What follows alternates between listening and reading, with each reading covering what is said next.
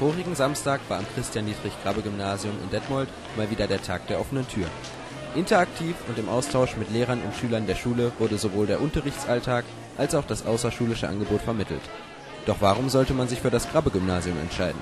Das haben wir auch unseren stellvertretenden Schulleiter Herrn Hüls gefragt. Was wir vermitteln wollen, ist vor allen Dingen, dass alle, die hier zur Schule kommen, wissen, dass wir eine, eine tolle Schulgemeinschaft haben und dass wir ganz viele Potenziale fördern, eben in unseren Profilen, aber auch sonst. Das, glaube ich, ist eine große Stärke, dass wir nicht so eine 0815-Schule sind, sondern ganz, ganz, ganz viele Stärken haben. Eine Schulgemeinschaft also. Diese zeigt sich auch durch die Organisation der Veranstaltung selbst. Alle Lehrer waren für Fragen offen und es wurden Führungen durch die Schule und durch die Mensa angeboten.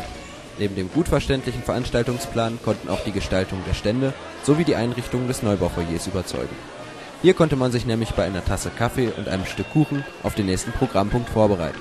Auch bei Wegschwierigkeiten wurde einem schnell auf die Sprünge geholfen.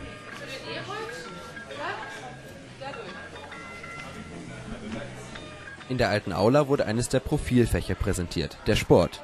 Doch was gab es hier zu sehen? Schön sieht, einen aktiven Fitnessparcours, Sport für jedermann.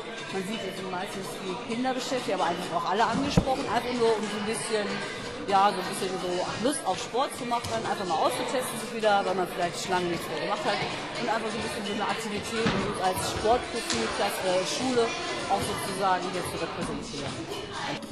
An verschiedenen Stationen konnten sich sowohl Eltern als auch Schüler beweisen. Hierbei stand jedoch der Spaß im Vordergrund. Die Lehrer standen den Sportlern dabei immer zur Seite.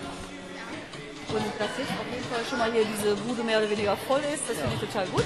Und das ist eine nette Stimmung und dann ist es auch schön für die Kinder zu merken, sie haben sich was überlegt und das wird auch angenommen. Das ist super. In den Kunsträumen dagegen wurden ausgewählte Werke verschiedener Stufen ausgestellt. Die Eltern hatten dabei die Möglichkeit, Fragen an die Lehrer zu stellen, während die angehenden Schülerinnen und Schüler unter Anleitung ihre ersten Zeichnungen fertigstellten. Doch woher kommen die Comics, die an den Wänden hängen? Fragten manche Schüler. Es ist quasi so wie die konventionelle Zeichnung, nur dass du es halt am PC machst, mit einem Grafiktablett. Diese Technik wird für Interessierte in der Comic AG am Grabbe-Gymnasium angeboten. Im Musikunterricht wurde zunächst mit der obligatorischen Begrüßung begonnen. Guten Morgen, liebe Fünfbeck. Guten Morgen, Frau Hernandez. Danach konnten sich die Gäste anschauen, was sie im Schulalltag erwarten würde. Hierbei kam unter anderem der Overhead-Projektor, kurz OHP, zum Einsatz, der auch sonst häufig verwendet wird. Wie zu erwarten, wurde im Unterricht auch viel gesungen.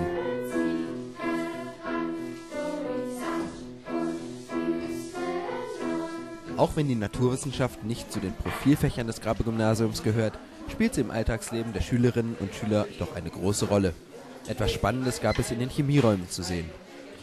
Ja, wir bieten hier zusammen mit einer siebten Klasse, mit der 7G, bieten wir eine Experimentierrunde, ein Stationenlernen für die Grundschüler an. Und zwar Rotkohlsaft ganz bunt. In verschiedenen Experimenten wurde den kleinen Gästen gezeigt, wie in der Chemie gearbeitet wird. Doch was bringt so ein Versuch? Also nur das Experimentieren alleine, äh, das wäre dann reine Spielerei. Das bringt auch noch nichts. Äh, und zusammen mit den Theorien, die dann dahinter stecken, die man dann daraus entwickeln kann und die Schlüsse, die man daraus ziehen kann, das macht dann die Chemie zur Naturwissenschaft. Vermeintlich Gefährliches zeigt der Echse in den Physikräumen. Aber nicht nur die angehenden Schüler sind am Experimentieren, auch die Eltern dürfen mal reinschauen. Wer dann noch etwas Abwechslung wollte, der konnte seinen eigenen Lebkuchen gestalten. Insgesamt war es ein erfolgreicher Tag. Zahlreiche Gäste nutzten die vielseitigen Möglichkeiten, sich zu informieren und einfach einen schönen Tag zu erleben. Das berichtet auch Herr Hülz. So viele wie heute waren noch nie da. Und das ist vielleicht auch ein Zeichen dafür, dass unser Konzept stimmt und dass das, was wir eben als Schule so als Ideal haben, ähm, auch ankommt bei den Leuten und sich das, das rumspricht, dass wir eben kreativ sind, äh, viel vermitteln können, sehr engagiert sind. Nach einem gelungenen Tag stürzt sich jetzt das Kollegium sowie die Schülerschaft zurück in ihren Schulalltag.